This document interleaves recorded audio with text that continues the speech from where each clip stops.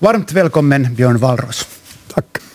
Jag som är lite bilintresserad, du kom ju hit till Yle med, med din Bentley. Är det en klimatsmart bil? Ja, den här är ju hybrid. Jag har nog andra Bentleyer också, men de är inte hybrider. Hur många Bentley har du? Jag har tre tror jag. Eh, Både de andra är mycket äldre än den här. Men nu för tiden är det populärt att byta till elbil. När ska du... Den här är, det här är en elbil. Det är en plug-in, en hybrid. ja. Ja, plug-in hybrid. Va, det där, eh, men du är en chaufför, det måste vara en häftig bil att köra. Varför kör du inte själv den? Det finns nog häftigare. Är det så? Och de kör du? Nej, ja, alltså det, om, jag ska, om, vi, om vi tar ner det här varvtalet här så, är, så, så det där. Jag har ju inte kört bil i Finland på 20 år ungefär på grund av de här vansinniga böterna som man skulle få här. Nu skulle jag kunna köra bil för att jag har relativt lite av mina inkomster är beskattade i Finland och därmed så skulle böterna bli mindre. Men, men det har blivit nu nästan en vana att jag inte kör. Nå, nu kör jag på gården, kör jag då när jag är där så kör jag själv. Du har den här hösten fått åka från en intervju till en annan. Du har gett en hel massa intervjuer i samband med att din, den första delen av dina memoarer kom ut nu i höst. Och folk verkar fortfarande väldigt intresserade av dig. Hur känns det? Jag vet inte, på sätt och vis. Man, man, ja, man borde väl säga att man är smickrad, men, men jag vet inte ens om det riktigt stämmer. Eh, det är ju ett faktum att det finns det är en en sån urban myt att, att jag är hemskt mycket i offentligheten. Faktum är att jag ger jättelite intervjuer. Nu i samband med den här publiceringen av den här boken så har jag ju gett mycket och massor med intervjuer och det har ju faktiskt blivit en hel del. Men det känns lite så som du säger att, att med jämna mellanrum så dimper du ner här i Finland och så säger du, ger du ibland lite provocerande det svar och, och, och säger att allt är åt, åt helvete här i det här landet. Och sen åker du iväg och, se, och sen skapar det en debatt och det blir, blir lite diskussion här i Finland. Hur mycket har du funderat på på förhand? Nu ska jag ta upp det här i den här intervjun för att skapa lite debatt. Det är ju inte som du vet som journalist själv så det är ju inte i allmänhet liksom den som blir intervjuad som funderar på, det är inte jag som har valt dina frågor här idag heller, utan det, det är nog på det sättet att det är vissa saker man tänker på och, och, då kommer det uppslag, man blir ställd någon fråga och man kan kanske lite vrida det där svaret åt något håll men i huvudsak är det ju nog redaktörerna som ställer frågorna och bestämmer vad det är vi pratar om. Nej, men det här med att legalisera cannabis i Finland, var det redaktören eller var det du som tog upp det? Det var nog helt redaktören det också som, som kom in på liksom temat att hurdana parties hade vi när, när, vi, när jag var liksom 16 eller något sånt där. Och då tyckte jag att det var ett bra sätt att få styra den diskussionen till liksom någonting som ens har något sakinnehåll och, och, och sa att jag är fortfarande av den åsikten att cannabis ska legaliseras. Men gör de här festerna på 60-talet dig till en cannabisexpert? Nej, det gör det säkert inte, men, men, men jag är ju inte den enda som tycker att det ska legaliseras. Så att det där, det är ju, jag försöker bara påminna, påminna om att, att det faktiskt nog antagligen skulle vara det smarta. När du då uttalar dig, det, blir kvällstidningsstoff, så vad, vad säger din familj, vad säger dina barn? Ser, tänker de att nu är farsan igen? Jag tror att de, de, de tyckte kanske... De tyckte inte... När de gick i skolan så, så var det lite sådär att, att det liksom störde dem. Och, Eller ska jag säga sådär, de kunde någon gång bli föremål för någon miniform av, av mobbning i anslutning till det här för alla visste vem deras pappa var eller något sånt där. Och, och, och när någon gång chauffören förde dem till, till skolan så bad de alltid om att bli avsläppta ett kvarter längre bort och sånt där.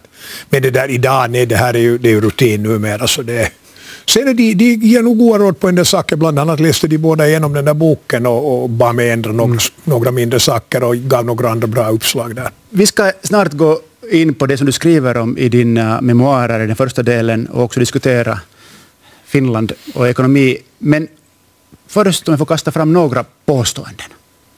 Och jag skulle gärna vilja att du skulle svara rätt kort. Vi ska inte gå in allt för mycket in i det här, men att det, om vi börjar i Sverige där du är skriven. Om jag påstår och hävdar att Magdalena Andersson blir Sveriges bästa statsminister någonsin. Det kommer hon inte att ha tid att bli.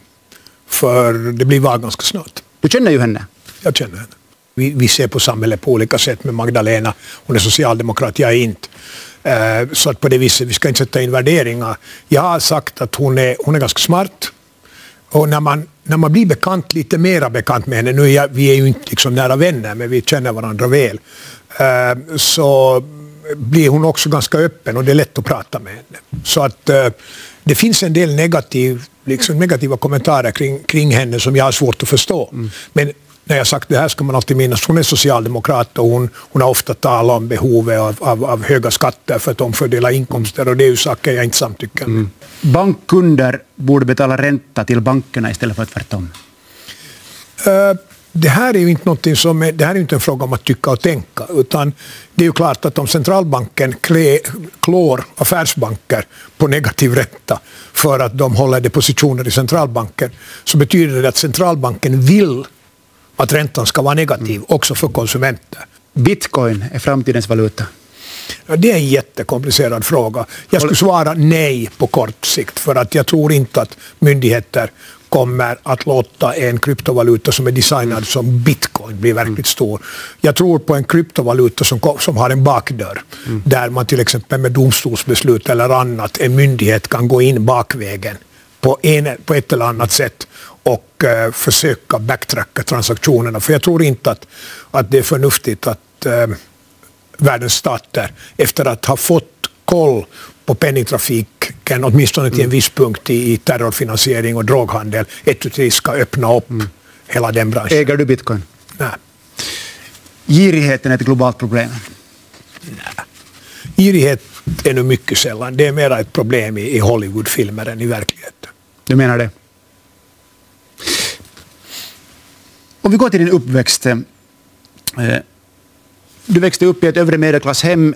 Vilka värderingar uppskattades eller högaktades i ditt barndomshem? det är egentligen lättare att svara lite som jag skriver i boken, att, att en sak som man inte hade stor förståelse för, stor förståelse för var pengar.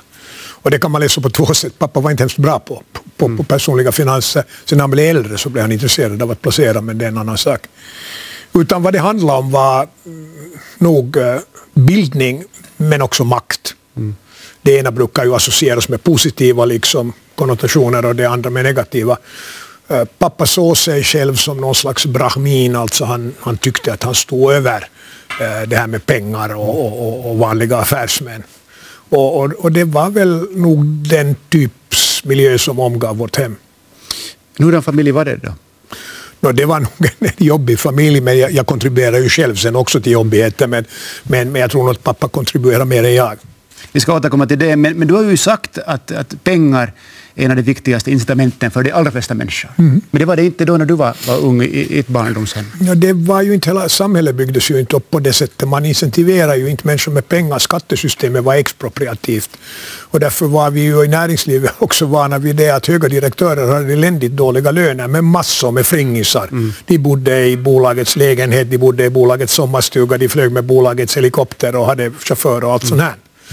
Eh, jag tror att det är mycket bättre samhälle vi lever i idag där man öppet erkänner att det är klart att pengar motiverar de flesta människor. Men om inte din pappa lärde dig om pengar, vem lärde dig? om någon har lärt mig någonting om det så är det min savolaxiska hustru. Alltså, hur stor betydelse har hon haft i din karriär? Hon har nog haft en stor betydelse. Du talar ju ofta väldigt varmt om henne när man, man ser på olika klipp med dig. Men hon håller ju sig långt borta från offentligheten. Mm. Men på vilket sätt har hon haft en stor betydelse? Ja, jag kommer alltid ihåg när jag, jag brukar skämtsamt säga att jag första gången prutade i mitt liv när vi köpte bil när vi flyttade till USA 1980. Och, och då, var det, då var det hon som, som nog piska på mig att få ner det där priset. Vi hade inte så mycket pengar på den tiden. Det är kanske det är ett uns av skämt i det här, men, men, men hon har alltid varit noggrann med pengar. Skulle du ha kommit så här långt utan henne? Hon har nog kontribuerat till en del avgörande beslut som, som där hon har haft rätt. Så att eh, antagligen så var det... Eh, det var hon som sa att vi skulle fara till USA. Mm. Till exempel, vilket jag berättar i boken. Jag hade slängt det där jobberbjudandet i roskisen och hon blev no, arg som en bieffel att säga. Hon sa att det är färdigt och så går vi upp till din, ditt arbetsrum och plockar upp det ur den där roskisen. Och, och så vidare. Det finns flera, flera ställen där hon har haft, eh, kommit med mycket goda, mycket kloka råd. Om vi tar tillbaka till, till din, din, eh, dina föräldrar, så det har ju talats väldigt mycket om, om din, din far. Han, han var en färggrann, också kontroversiell person, mångårig kanslichef på Handels och industriministeriet. Men hur mycket har du fått från din mamma? Jag tror att jag svarar, men det finns ju ett enkelt genetiskt svar på det. Och mm. det, det, det, är hälften och hälften, det är på det sättet som DNA och genetiken fungerar. Och eftersom min mamma har levt lite längre äh, än pappa så, så kanske sen det där icke-genetiska material är en majoritet från henne, men, men det får nog andra bedöma. Det som är alldeles klart att jag är en kombination av de två. Det där eh, enorma självförtroende som du har haft sedan du var ung vuxen, kom det från mamma eller pappa? Det kommer väl nog lite från båda delar. Det är nog inget fel på min mammas självförtroende heller. Var det hon som höll ihop familjen? Ja, det var det. Utan henne skulle det ha gått No, nu, nu var det ju alltså med, mitt, med min livsföring under gymnasieåren så, så var det ju nog ganska, ett, ganska stor agenda att hålla ihop den där familjen. Så att ju ett stort tack till henne. För du var en värsting i skolan och du blev till och med relegerad. Och sen blev du vänsterradikal under några år och du hoppade av skolgången. Och de här åren diskuterade du tillsammans med din far i en studio här på YLE 1987 i ett program som heter Fäder och söner. Vi ska se hur det lät då 1987. Här kommer det. Vad gjorde du under de två åren? När du, när du slutade skolan, vad gjorde du? Det- vi, vi var ju då hela, hela jag och, och, och större delen av min vänskapskrets engagerade i den här finlandssvenska skolungdomsrörelsen. Det tog här- oerhört mycket tid ju. Ja, Ja, sen när men det var det var jag gjorde. Ja, men det hade som Men att när det är ju egen orkester, herregud. Ja, Det höll ju på det. att spela. Ja, ja, det var nog marginellt. ja. Så det sysslade du med när, du inte gick i skolan sen? Ja, det var... Musik? Nej, nej, nej, det var nog det här, det var nog snarast det här liksom revoltgörande som tog tiden. Men hur reagerade du när han slutade skolan? Det, det, det, jag vill säga, det, det, det var kanske inte så, så, så hemskt att jag reagerade reagera kanske mera i, med den där liksom min far att vad ska det nu bli av honom? Det att han liksom slutade skolan som sådant var liksom inte, för det hade jag liksom själv, jag har ju haft, haft en sån där lite eh, en sån här inställning att det, det, det liksom inte var så viktigt att huvudsaken... Och då var jag liksom rädd för att, att blir det här nu då ett, ett, ett slutligt avbrott i hans, hans studie och det blev det ju inte och, och, det, och, och det var ju liksom det viktiga. Liksom. Så inte kom det här att, nu, att som sådant att vara den kanske en, en sån stor stötesten. Finns det med andra ord i er, er familjetradition en sån här viss förkärlek för gossen Ruda? Ett sånt här... Jo, det, det tror jag nog för att jag, när jag kan liksom gå ännu en generation liksom tillbaka i tiden och se på min pappa och han var nog liksom likadan. Hur är det med dina barn? Ja, nu är väl Thomas lite så. Ja, nu kan det hända alltså, det, att det finns ännu, men han är så pass liten så att men, att, men nu kan man se spåra drag av det. Det hade jag glömt. Har du glömt det här? Jag hade glömt det där slutet. Ja. Ja. Du var 35 år eh, gammal här. Finns den här gossen Ruda, enfant terrible, genen kvar i er, er släkt? Nu finns den säkert i en viss utsträckning, men, men, men det är klart att, att sociala medier, hela den här kommunikationsvärlden vi lever i idag, så gör ju en yngre generation, din generation, oerhört mycket mer, liksom, mycket smartare och, och försiktigare i en viss utsträckning. Eh, desto finns det så mycket mer att göra idag. Eh, om, du ska göra karriär, du behöver inte gå och jobba för en stor bank, du kan göra finans. Eller, du behöver inte, eh, och de där alternativen gör ju att, att, att du kan komponera ditt liv på ett sätt var den här genen som, som pappa talar om där eller, eller, eller, eller någonting motsvarande, så den, den kan liksom få andra utlopp. Kommer vi att se någon av dina barnbarn i en, en sån roll som är... Nej, det tror jag inte, för det, det finns många orsaker till det. Men att det är klart att min, min, min son är, är, offentligt känd för att vara, under en kort tid var en av världens hundra bästa pokerspelare och han är en av världens hundra bästa freefall skydiving fallskärmshoppare. Och det är ju inte kanske helt sådär vanligt det heller. Du var 35 år gammal här, du hade nyss börjat på För- Föreningsbanken, det var jobbiga tider. Eh, lite obekväm såg du ut där bredvid din pappa. Ja, det kan hända. Jag, jag tittar på det lite själv också. Att jag, men det där, vi hade inte ett liksom hundraprocentigt bekvämt förhållande alltid. Det, det fanns inget speciellt här i den här situationen, utan jag var väl lite jag var alltid lite på min vakt vad pappa vräker ur sig. Det har ju skrivits väldigt mycket och talats mycket om, om din far. Vissa säger till och med att han var en tyrann. Var han så hemsk som många låter Nej, förstå? Nej, och, och det där... Det blev lite sen... Det är klart han hade, han hade karaktärsfel och, och det är klart att hans alkoholbruk, alkoholbruk var definitivt excessivt tills han slutade helt och hållet, lite efter att han hade fyllt 50. Och det, där, eh, och det gjorde ju inte, den alkoholen gjorde ju inte saken bättre. Men han var långt ifrån den, den liksom nästan parodiskt tyranniska figur som ibland har framförts i offentligheten. Han kunde ibland vara jävligt trevlig och sen var han jävligt smart. Så det, då när man pratade med honom om någonting, om han hade ett bra tema, så, så kunde det vara jättebra. Det är ni någon gång riktigt nära? Vi var, det var liksom så här off and on. Man var närmare och längre och han, han, han var inte en lätt människa. Han är inte lätt för mänskliga relationer så där i största allmänhet. Ditt, sen när du under den radikala år så, så hette ditt stridspar Leif Salmén. Vad har Le- Leif Salmén betytt för dig? No, det, det är kanske någonting som till och med... Han, har, han var en vän, men under en ganska kort tid. Det var, det var inte ens hela den här radikalperioden, utan det var kanske tre år av det. Året i skolungdomsrörelsen, eller 69, det var ett drygt år. Och sen var vi väl då sådär liksom ungdomliga kommunister tillsammans ett år, ett och ett halvt. Liksom. Men det är ungefär det. Sen vandrade han, han, han gick liksom iväg i sin egen riktning. När vi andra, det var en större sällskapskrets, ska vi säga att det var ett halvdussin eller ett dussin mycket nära vänner. Och alla andra vände om, utom Leffa som sen fortsatt. Och på den vägen blev han och, och, och därför var vår, vår relation egentligen, den sträckte sig inte över mycket mer än tre år. Vem var smartare? Leif eller du? Alltså, han var ju ett, ett eh, jag tror jag till och med jag kallar honom nästan universalgeni, men det är, det är liksom, eh, det är en överdrift för att han, han hade ingen fallenhet eller intresse för, för vad du kunde kalla exakta vetenskaper eller matematik. Han var, han var en strålande skådespelare, en absolut fantastisk baryton. Han skrev bra, även om han valde fel genre. Han borde aldrig ha börjat skriva poesi. Eh, han var en ganska bra berättare, men, men sen blev, fastnade han i det här finländsk bokföring-konceptet och började repetera sig själv. Skulle han haft ett lättare liv och, och, och skulle han ha levt ett lite mer ordnat liv så skulle han ha blivit en riktigt, riktigt bra berättare och författare och han var ju en strålande revolverjournalist. Mm. Eh, När, efter att era vägar skildes åt så hade ni kontakt. Mycket lite. Saknar du den här intellektuella debatten med honom? Ja. Leif Salmén gick ju bort för två år sedan. Ja. Men då under, under dessa år. Jag hade, jag, hade, jag hade den stora förmånen att jag umgicks då och jag umgås idag med alla de andra vännerna i den där kretsen.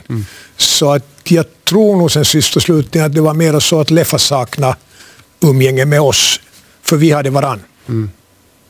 Men Både, både Leif Salmén och din far hade tidvis alkoholproblem. Hur har det påverkat din syn på alkohol?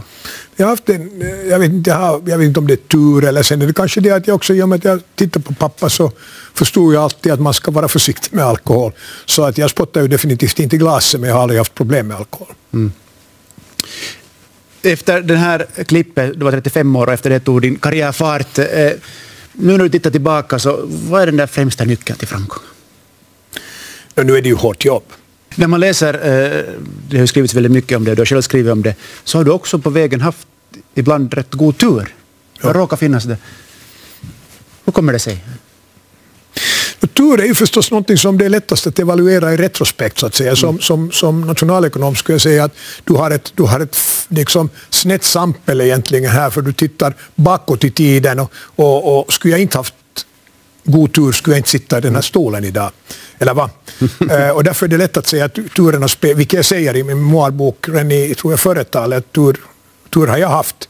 Det kunde i vissa kritiska ögonblick, när man har stått i ett vägskäl, så kunde det ha gått mycket värre.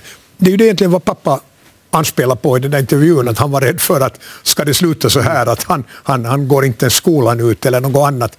Ett faktum var ju då det att, att det var ju inte särskilt många år efter det att jag slutade skolan som jag redan hade doktorerat. Så, det där. så det kunde ha gått helt annorlunda. Men blev, blev du lyckligare av, av framgången och, och rikedomen? Alltså, lycka är ett jättekomplicerat... I mitt fall, jo. Helt utan något som helst tvivel. Men då när du åkte som gästföreläsare till, till Brown på östkusten i USA med, med din fru som övertalade att åka dit och hade två små barn med i bagaget. Var inte lycklig då? Jag var jättelycklig då. Och det är ju det jag inte försöker säga. Ja. Det är det jag försöker säga. Uh, pengar har sen sist och slutligen uh, mycket sällan styrt mig. Jag började inte liksom förstå att jag ens var förmögen förrän jag redan hade varit förmögen en ganska lång tid. Och det är först sen när man har vant sig och, vid, vid, det där och, och lever med varje dag att sköta de där pengarna och sköta det liv som de ger anledning och möjlighet till som man inser att det, det är komplext och samtidigt inser man att det skulle vara svårt att leva utan det. Mm. Man blir van med det efter en tid. I en intervju till tidningen Kauppalehti sa du nyligen att det bästa med Finland är sommaren. Mycket annat gott hade du inte att komma med. Varför hävdar du att, att världens lyckligaste land är så eländigt? Jag hävdar inte riktigt, och du tog nu bara en liten bit av början av den där intervjun. Det är nu inte bara sommaren, jag talar, jag talar också om unga entreprenörer som nog hela tiden imponerar mig. Men om vi ska gå tillbaka så det är ju inte fråga om att säga att, att saker är åt helvete i Finland. Det är att påminna människor om hur jävligt mycket bättre de kunde ha det mm. om det här landet skulle skötas ordentligt. Det är ju det jag talar om. Mig spelar det ingen roll för, för jag är inte särskilt mycket här nu för tiden mera. Men jag tycker synd om den finska medelklassen som, som tvingas betala för ett, ett liksom färdigt, för, på sätt och vis en sån där moderskapsförpackning av konsumtion där de inte själva får välja vad de vill konsumera eller vad de vill göra utan de har gett allt det där till staten. Men hur kommer det sig att vi är så lyckliga trots att vår ekonomiska tillväxt är, no, det är finns låg? Det finns en, no, den, den är inte bara jättelåg, den är obefintlig. Det, där, det måste du fråga av, av någon av de här människorna som gör de här lycklighetsundersökningarna. För utan att veta någonting om det så misstänker jag bara att det har någonting med den där mätningstekniken att göra. Du efterlyser ekonomisk tillväxt och lägre skatter. Ett hurdant samhälle vill du se? Jag vill se ett samhälle som de ganska trevliga samhällen jag ser där jag bor mycket. Eh, England är ett bra exempel. Jag tycker jättebra om delar av USA. Ju längre österut i USA du är, desto trevligare tycker jag i allmänhet att det är faktiskt. Det finns många ställen, alltså ju mer man reser, jag menar jag kunde säga till och med så enkelt, du är säkert själv ofta i Stockholm. Mm. Och på något sätt är det en mer livskraftig miljö. Det, det är en öppnare, mer impulsiv, på sätt och vis varmare miljö än, än vad vi har här i Finland. På grund av att ekonomin fungerar bra, det finns mycket jobb, det finns mycket jobb också för de som inte är jättehögt utbildade. Alla verkar trivas på ett sätt som jag inte riktigt ser här. Men jag menar Storbritannien nu efter Brexit, men också USA är ju samhällen som har enorma problem. Tror jag nog att vi borde börja gå igenom det där så bit för bit. Det är en sån urban legend, det hör till i Finland att man säger att det är så problematiskt överallt annanstans när du har igen rest lite omkring till någon av de, någon sån här vet du, Uzbekistan eller någonting. Mm. Jag lovar dig att du får också höra där att det finns nog enorma problem i Finland. Mm. Men det, det, det länder du nämner, framförallt USA och eh, England eller Storbritannien, det är ju länder... Jag, jag är en livslång anglofil så det är naturligt Absolut. att jag gör det. Jag kan ge en lång lista. Men det är ju länder med, med stora klassklyftor. Inte USA. Och England har väldigt stora klassklyftor. England har ett traditionellt klassamhälle som på landsbygden framförallt, framförallt de som inte hör till överklassen älskar. För det ger dem en trygghet som inte finns till exempel på den finska landsbygden. Var vi bättre i Finland om vi har större skillnader mellan olika klasser? Inte, det här är inte fråga om klasser, det finns inga klasser i Finland. Det har aldrig funnits några klasser egentligen i Finland. Det är det mest jämlika landet i, världen. Men det är ett problem det, att det är för jämlikt? Nej. Det som är ett problem är det att vi inte har ekonomisk tillväxt. Mm. Snart har vi inte råd att betala den välfärd vi har idag. Och det är det som är problemet. Jag sitter inte här och pratar pengar till, till, till människor som har det välbeställt från början. Jag försöker säga att de som har det illa, de kommer tyvärr inte att kunna ens klara sig om det fortsätter på det här sättet. Ifall vi inte har ekonomisk tillväxt. Mm. Men blir det inte så då om man, om man sänker skatter? Ser du inte att det finns en risk att, att vi inte mer kan sköta om de svaga i samhället? Det finns en jättestor risk att vi inte kan sköta de svaga i samhället om vi inte får ekonomisk tillväxt. Vi kör nu redan med 10 miljarders underskott i offentliga budgetarna. Vi kan inte hålla på så här länge till. Vår statliga skuldbörda har gått från 30 till 70 procent. Och den ökar med 5 procentenheter per, per år. Vi kan inte hålla på på det sättet. Och det enda sättet att motverka det är att skapa förutsättningar för arbete. För att vi ska kunna jobba. För det förutsätter att någon investerar hit, för det går inte att jobba bara med, med spade i hand. Men det finns ju det som säkert ser på det här programmet tänker att nu är Valros han är kvar i Reagans 80-tal. De, de rika blir rikare, de fattiga blir fattigare. De fattiga blev jättemycket rikare under Reagans 80-tal. Det är det som är det fina med det här. Sen ser du också så att, att, att, att de som är väldigt produktiva i det här samhället, de ska ju förtjäna mer än de som, som inte det. Men det finns ju också människor som brinner för sitt jobb, är engagerade, produktiva. Det finns lärare, vårdare, sjukskötare och så vidare. Varför ska de ha en skitlön? Det ena utesluter inte det andra. Man kan vara lycklig och ha en bra lön. Eller va? Mm. Och problemet i det här är ju inte att man, jag skulle vilja ha lägre löner åt sjukvårdare något annat. Tvärtom. Jag vill skapa en ekonomi som är tillräckligt stark för att generera skatteintäkter med vilka man kan betala för vård också i framtiden. Tror du att din modell det skulle leda till, verkligen det skulle leda till det att en vårdare får högre lön? Jag inte bara tror, jag vet det. Så ett samhälle som påminner mera om Sverige, det vill du säga? Jag säger att det intressanta med Sverige är att det är en klassisk socialdemokrati. Det är ett land där Socialdemokraterna har byggt folk, hela liksom folkhemmet, som de kallar det själv. Och, och, och, det är en struktur som de är stolta över. Men de har gjort det på ett lite klokare sätt än i Finland. Genom att se till att folkhemmet också kan rymma några kapitalister. För det är jävligt svårt att få ett folkhem att fungera om man inte har kapitalister. Jag måste få fråga det här, för jag kan inte släppa det. Du har sagt att din största hjälte i livet är kapten James T. Kirk från tv-serien Star Trek. Är det fortfarande din största hjälte i livet? Nej, det, ja, det där måste ja, ja, det är helt möjligt och det är sannolikt att jag har sagt det där. Men det var, jag tror att man, man sökte liksom en hjälte snarare då än... Jag har också svarat på frågan om de tre intellektuella, liksom, de människor som mest har påverkat mig och det var Adam Smith, Milton Friedman och Ayn Rand. Men om jag till dem får lägga James T. Kirk som en ledare, om, jag tror att det faktiskt man frågar mig att finns det någon person med briljanta ledaregenskaper så tyckte jag James T. Kirk var ett bra exempel. Jag kan dessutom om du vill förklara varför jag sa det. Därför att det finns en episod i Star Trek där, där transportern, och det är den här, den här lustig, lustiga liksom grejen som, som så att säga bryter ner en i molekyler och flyttar upp en från Enterprise ner på en planet eller tillbaka, den hade gått sönder. Och den hade gått sönder så att den splittrar en person i två. Och den splittrade dem i två så att alla de aggressiva egenskaperna gick i den ena och alla de snälla och, och liksom vänliga, mjäkiga i den andra. Och, och, och, det visade sig att när Kapten Kirk i misstag gick igenom den här och, och utan de förstod det så, så fanns det två Kirkar. Den ena hade alla de snälla egenskaperna, den andra alla de här tuffa ledarskapsegenskaperna. De var båda odugliga. och det är det som är hela poängen, att ledarskap är en kombination av egenskaper. Kanske inte exakt de jag nu talar om, men motsvarande. Och James T. Kirk var ett utmärkt exempel på att kombinera de här egenskaperna. Och han spelades av William Shatner som var 90 år gammal och var här nyligen uppe i rymden med Jeff Bezos rymdfarkost. Vilket roar mig mycket. När ska du åka upp i rymden? Det tror jag inte. Jag, jag känner ingen som helst dragning till det. Avslutningsvis, eh, du är känd för att ordna storslagna fester. Om ett år fyller du 70 år. Hur långt har du kommit i planeringen? Det här är slående att du, du det där frågar mig det för att min dotter ringde mig igår och sa att pappa nu måste vi nog slå fast något datum. Jag sa att det här är första gången i mitt liv som jag inte känner någon större entusiasm för att arrangera en fest. Jag kommer nog att arrangera den men, men det där... Ja, vad har hänt med dig? Du, du... Ja, jag undrar det själv också. Du, brukar ju vara fylla kvällstidningar med dina fina fester. Ja, det att Rita Tainola en gång lyckades via en eländig person få reda på den där festen. Den där personen som läckte det kommer inte att bli bjuden på nytt. Ja, du får börja fundera på, på din fest eh, som är om ett år. Ett stort tack till dig Björn Wallros att du tog dig tid att komma hit. Tack så mycket.